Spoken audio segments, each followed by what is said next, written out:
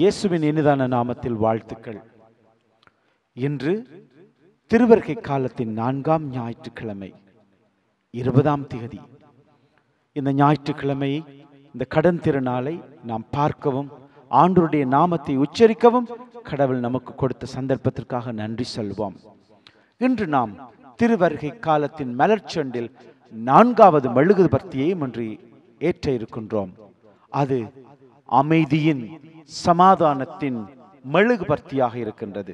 Candle of piece இயேசு ஆண்டவரே நமக்கு சமாதானத்தின் தேவனாயிருக்கிறார் சமாதானத்தின் ராஜாவாக இருக்கிறார் என்பதை உணர்ந்து கொண்டு நம் உள்ளத்திலும் இல்லத்திலும் ஊரிலும் நாட்டிலும் உலகத்திலும் அமைதி கிடைக்க வேண்டி இந்த நாளை ஆண்டவருடைய கரங்களில் ஒப்புக்கொடுத்து ஆராதனையில் இணைந்து கொள்வோம்.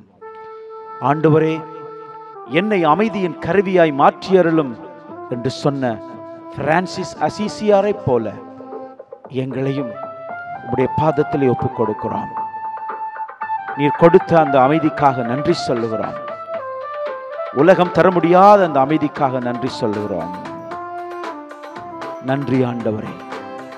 நன்றி சுவாமி. அமைதியில் தூதனாய் என்னையே மாற்றுமே. அமைதியில் தூதனாய் என்னையே மாற்றுமே. அன்பனே இறைவனே எல் நிலை வாருமே. அன்பனே இறைவனே என்னிலே வாருமே. சேர்ந்து சொல்லுவோம். அமைதியில் தூதனாய் என்னையே மாற்றுமே. பகைமை உள்ள இடத்தில் பாசத்தை வளர்க்கவும். பகைமை உள்ள இடத்தில் பாசத்தை வளர்க்கவும்.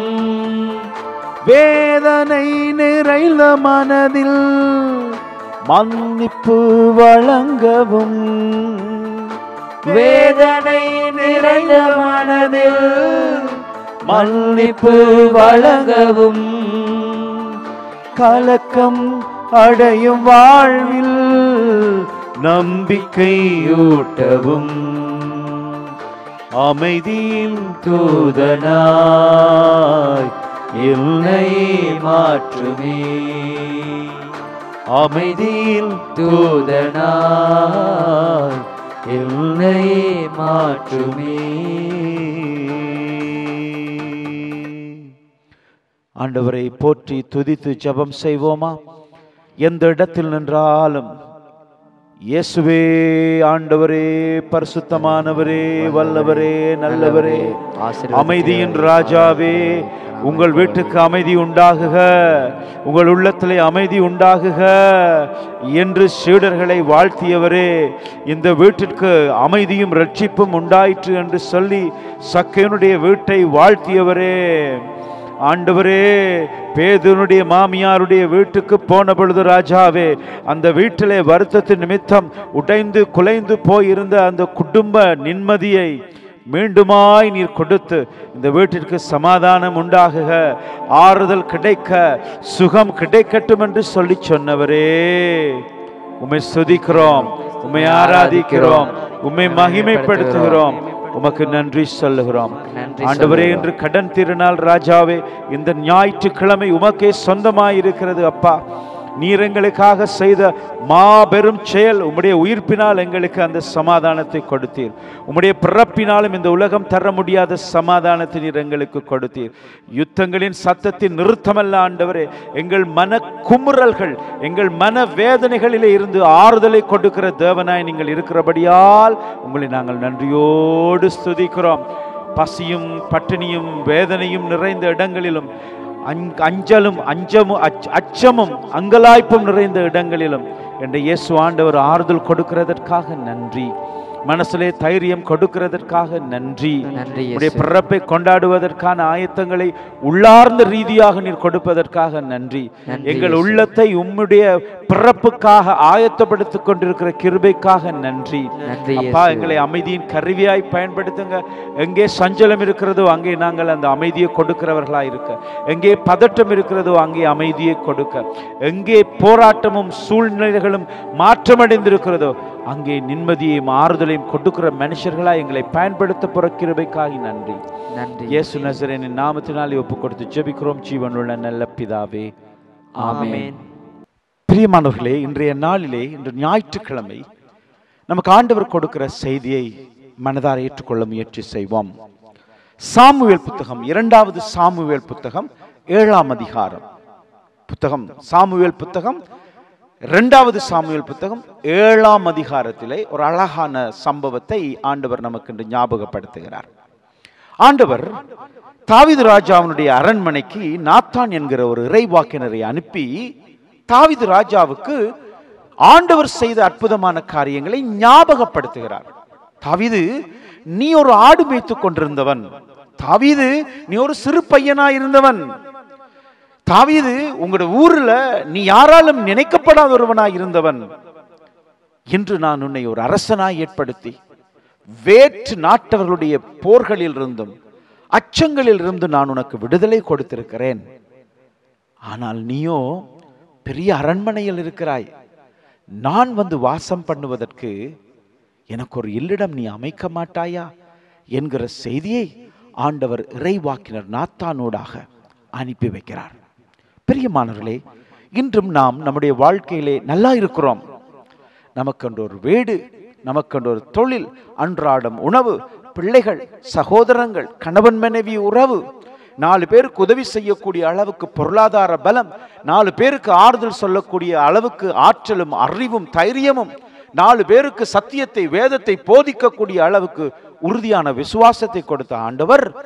இன்றைய நாளிலே நம்முடைய உள்ளத்தை பார்த்து கேட்கிறார் உன்னுடைய உள்ளத்தில் நான் வந்து குடிகொள்ளும்படியாக உன் இதயம் பரிசுத்தமாய் இருக்கிறதா?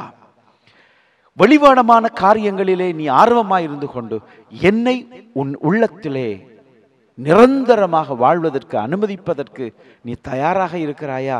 என்ற கேள்வியை ஆண்டவர் இந்த நாளிலே கேட்கிறார். இன்று நீங்கள் லூக்கா நட்சதி ஒன்றாம் அதிகாரத்தை எடுத்து வாசித்தீர்கள் என்றால் தேவ தாயிடம் ஆண்டவர் செய்தி கொடுத்து அனுப்புகிறார். எப்படி? என்னுடைய நேசகுமாரனை தாங்குவதற்கான கருப்பையை நீ ஆயத்தமாய் வைத்திருக்கிறாயா என்று கேட்டதற்கு நான் ஆண்டவருடைய அடிமை என் உள்ளத்தில் ஆண்டவரை நான் ஏற்றுக்கொண்டேன் இன்று என் உதிரத்தில் ஆண்டவரை தாங்கிக் கொள்கிறேன் அந்த ஆண்டவரை இந்த உலகத்திற்கு நான் கொடுப்பதற்கு தயாராக இருக்கிறேன் என்று கன்னிமரியால் சொன்னார் ஆகவே பிரியமானவர்களே இன்று திருவருகை காலத்தின் நான்காவது ஞாயிற்றுக்கிழமை ஆண்டவர் நமக்கு கொடுக்கிற மிகப்பெரிய சமாதானம் என்னவென்றால் உலகத்தின் இரட்சகர் சமாதானத்தின் வேந்தர் நீதியின் அரசர் நம்முடைய உள்ளங்களிலே வந்து குடிகொள்வதற்கு நாம் அனுமதிக்கும்படி அவர் கேள்வி கேட்கிறார். பவுலடிகளார் மிகவும் அழகாக சொல்லுவார் சில நேரங்களிலே ஆண்டவர் நம்மிலே வந்து குடியிருப்பது நமக்கு புரியாத ஒரு புதிராக இருக்கும் என்று சொல்லுகிறார். அந்த புதிரை நாம் ஆண்டவர் இயேசு கிறிஸ்துவினால் நாம் வெற்றி கொள்ளுகிறவர்களாக இருக்க வேண்டும் என்று மன்றாடுவோம் பவுலடிகளார் இன்னும் ஆழமாய் சொல்லுவார் சகோதரர்களே உங்களுக்கு தெரியாதா? நீங்கள் என் ஆண்டவர் வந்து வாசம் பண்ணி இருக்கின்ற கோவில் அதனால் அந்த கோவிலாகிய நீங்கள் அவரை முழு உள்ளத்தோடு வரவேற்க ஆயத்தமாய் இருங்கள் என்று கேட்கிறார். ஆகவே பாலன் குடிலில் இலகுவாய் நாம் இயேசு ஆண்டவரை வைத்து விட முடியும். கோயில்களில் ஆண்டவருடைய சுரூபங்களை நாம் இலகுவாக வைத்து விட முடியும். சில நேரங்களில் நாம் கடினமாக கஷ்டப்படுவோம். இயேசு ஆண்டவரையும் அவருடைய போதனைகளையும் அவருடைய நியமங்களையும் அவருடைய விருப்பு வெறுப்புகளையும் நம்முடைய உள்ளத்திலே சொந்தமாக்கிக் கொள்ள முயற்சி செய்வோம். இந்த நாளில் ஆண்டவர் அதற்குரிய பலத்தை உங்களுக்கு தருவார். கண்களை மூடி அப்படியே ஜெபம் செய்கிறீர்களா? இன்று நான் உங்களுக்காக ஜெபம் செய்ய போகின்றேன். மகா பரிசுத்தமும் கனமும் நிறைந்த நல்ல தகப்பனே இந்த நாளுக்காய் கோடி சோஸ்திரம். ஆண்டவரே நாங்கள் உங்களுக்காக எங்கள் இதயத்தை திறந்து வைத்திருக்கிறோம். நீர் எங்களுடைய இதயத்திலே உம்முடைய வார்த்தையின் வழியாகவும் உடலினால் எங்களுடைய ஆத்மீக உணவாகவும் வந்து சேருகிறீர். அதற்காக நன்றி. ஆண்டவரே திருமுழுக்கினால் உமக்கு சொந்தமாக்கப்பட்ட நாங்கள் திருவிருந்தினால் எங்கள் இரத்தத்தில் கலந்து கொள்ளுகின்ற நீங்கள் உங்கள் வார்த்தையினால் எங்கள் வாழ்வு உறுதியடையும் பொழுது ஆண்டவரே அதை பார்க்கிறவர்கள் கேட்கிறவர்கள் எங்கள் நடுவிலே வாழ்கிறவர்கள் உம்முடைய உயிருள்ள பிரசன்னத்தை எங்களில் காணும்படி செபிக்கிறோம். ஆண்டவரே உங்களை இதயத்தில் ஏற்றுக்கொள்ள முடியாமல் இருக்கிறவர்கள். குடும்பத்திலே நடந்த வேதனையான சம்பவங்களின் நிமித்தமோ மரணங்களின் நிமித்தமோ தோல்விகளின் நிமித்தமோ என்ற இயேசு ஆண்டவரை இதயத்திலே குடிகொண்டிருக்க அனுமதிக்க முடியாது என்று சஞ்சலங்களோடு இருக்கிறவர்களுக்கு அச்சபிக்கிறேன் ஆண்டவர் ஏன் எனக்கு இப்படி செய்தார்? ஆண்டவர் ஏன் இதை எனக்கு அனுமதித்தார்? என்று சொல்லுகிறவருடைய உள்ளத்திலே நீடித்த சமாதானத்தை நீர் கொடுக்க வேண்டும் என்று செபிக்கிறேன். ஆண்டவரே நீரே சமாதானத்தின் பிரபுவா இருக்கிறீரப்பா நீரே சமாதானத்தின் தேவனா இருக்கிறீங்கப்பா அந்த நீடித்த சமாதானம் உலகம் கொடுக்க முடியாத அந்த நிம்மதி எல்லாருடைய உள்ளத்திலும் கிடைக்கும்படி. எங்களை சூழ்ந்திருக்கிற இந்த கொரோனா வைரஸினுடைய தாக்கங்களும் அச்சமும் எங்களை விட்டு மிக விரைவாய் நீங்குகின்ற அந்த அற்புதமான செய்தியை நீங்கள் எங்களுக்கு கொடுத்து அந்த ஆறுதலையும் அமைதியும் கொடுக்கும்படி செபிக்கிறேன். இயேசு நசரேனின் நாமத்தினாலே ஒப்பு கொடுத்து ஜெபிக்கிறேன் ஜீவனுள்ள நல்ல பிதாவே. ஆமேன். ஆண்டவர் தாமே இந்த நாளை ஆசீர்வதித்து உங்களை பாதுகாத்து பராமரிப்பாராக. Have a nice day God bless you